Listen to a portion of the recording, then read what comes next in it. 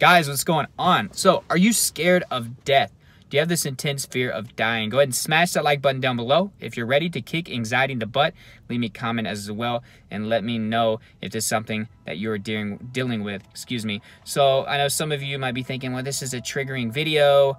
Um, guys, you have to face your triggers, uh, especially if they're unavoidable. And I think just avoiding to talk about something um, if, if that's a trigger for you, you should be trying to face this head on. So we're going to have a discussion about this. And I challenge you, uh, if this is a fear of yours, to make it through this whole video. If you make it through this whole video, let me know at the end. Um, and, and just leave a comment down there and let me know what's going on with you. But uh, this is something that started with me whenever I was 12 years old. You don't just have to have hypochondria, health anxiety, to fear death. You can have any type of anxiety disorder. You can just be a normal dude and, and obsess about this. Um, I was 12 years old at the time, and, and I had this crazy intense fear of death for about two and a half months. This is when it showed its ugly face in my life the first time around. And uh, of course, it got much worse the second time around whenever I developed health anxiety, panic disorder, social anxiety, and depression. And I dealt with that for five years. So every single day I thought I was dying. So it just magnified that fear, made it much worse. I was scared of uh, how I was going to die. You know, there's tons of different ways. I was like, well, I don't know if I wanted, how would I rather die by a disease or an accident? It's quicker. If it's an accident, a disease, it's slower, but maybe it's not as crazy uh, painful or traumatic. Um, I wondered what was going to go through my mind whenever I was dying. I, I'm religious, so I believe that I'm going to heaven based on my faith, but I still had questions like, where am I going straight to heaven? Am I going to a waiting place?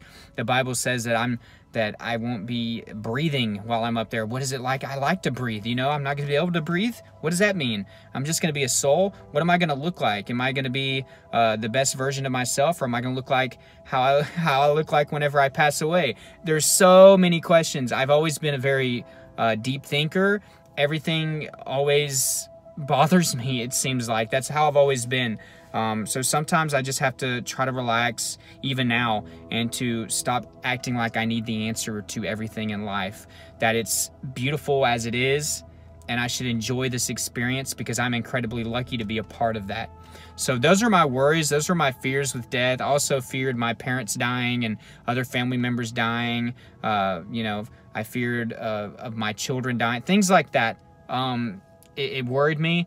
I, I thought about it every single day. I wasn't living because every day I was thinking about dying. So first off, I can relate with you. You are not alone. Um, if, it doesn't matter the age or the anxiety disorder or the state of your mental mind, um, this this fear can really overtake anybody okay and it can happen fast too whenever i was 12 it was just a random thought that popped in my head and i was and i obsessed over it and i was like oh my god i'm gonna die i was like coming to that realization and it's kind of a, it is a scary thing even if i sit here right now and let myself really think about the day that i'm gonna take my last breath it can become very real and scary to me again but I'm not living by doing that. I'm not living by obsessing over death. And I want you, some of you guys to break that cycle. There's so many freaking things to live for, and you are so incredibly uh, lucky to be here. That's my personal opinion. Think about how big this universe is, and think about how small we are compared to the universe. We're like grains of sand divided by millions. I mean, that's on a beach. Like, that's how small we are. And I don't want that to be looked at as a bad thing. We are so incredibly lucky to be a part of this. You have won the lottery billions of times just to have this opportunity. You're the fastest sperm to get to the egg. You already defied odds there. Okay, so think about that. You are so incredibly lucky to have a shot at this life. So some things that have helped me since my anxiety days, whenever I was really, really focused in on this, I just focused uh, on the good things that I can get out of life, whether that be enjoying time with my family and my friends. Um, some other things that helped me was uh, when I did think about death, it only motivated me to go harder at life, to either enjoy the moment, live in the moment, or to try to accomplish something. Um, I really want to be an entrepreneur. I really want to work from home. Um, I, am set on moving soon. These are these are things that I want to do while I'm young. I don't want to do this when I'm 40 or 50 years old. I want to do this while I'm young so I can spend more time with my kids and really get the most out of life. So death kind of fuels me in a way now. Um, so if you can use death as fuel, and I know that sounds kind of morbid, I guess, kind of weird, but it works for me. I use death as fuel. I want to get the most out of this life. I don't want death to bring me down. Okay, death is just going to be an end to it. I get that. That's that's inevitable. I can't escape that, and that's another thing. If you can't escape it, and you, we're not going to escape it. You know, we're not. No human has lived forever. I'm just letting you know. Release yourself from the prison that you're that you're encaging yourself in. Okay, you're in a cage right now, and you have the key to get out but you are you are trapped. And, and and the only person holding you in there is yourself. Stop worrying about things that you cannot control. You cannot control death. It is going to happen. And i know many of you don't like hearing that. I still don't like hearing myself say that.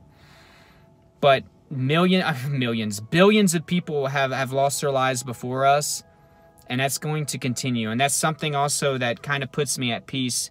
There were beautiful and amazing people out there that passed away, and um, you know my family members. I have tons of family members that that's that's waiting on me. I believe, you know, and that faith has really helped me uh, with this fear of, of dying.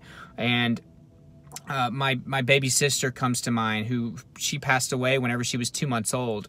So the fact that I'll get to see her and hold her again you know, it, it, doesn't make the thought of death so bad. Think about the people that you love and miss that have passed away that you get to see again.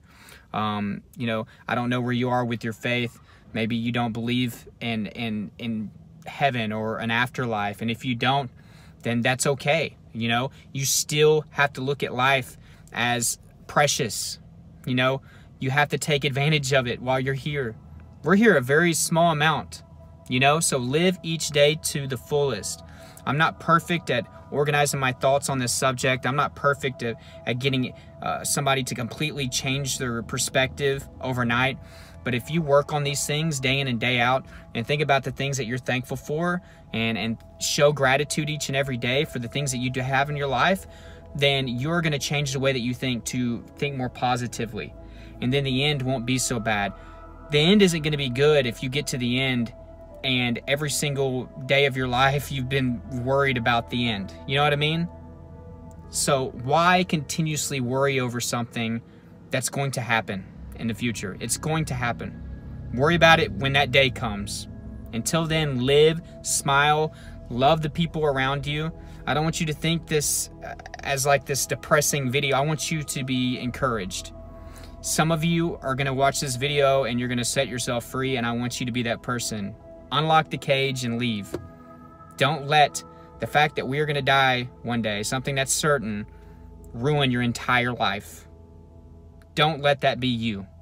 I hope you got some value out of this, guys. I hope some of you start living today. Again, I, this is kind of scattered around. Uh, I tend to do this sometimes in my videos, go off different trails and ramble. But I hope you got some value. Leave me a comment down below um, if you if you enjoyed this video or if you want to share your story.